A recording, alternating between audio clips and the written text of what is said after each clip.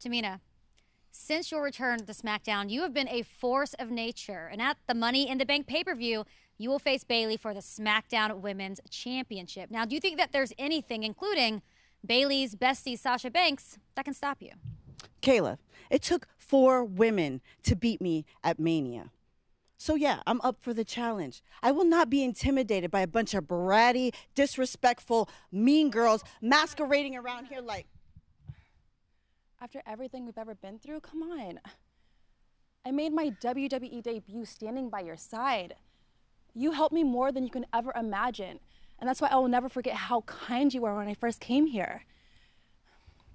I know you have a championship match against Bayley at Money in the Bank, and you, you know how much I love her. But you also know that me and you can carry ourselves as strong, proud, kick ass women that I know that we are, instead of resorting to name calling and cheap shots. Come on, you're my mama. No! Oh, no, no, no, no. Let's get her. Come on. Yeah!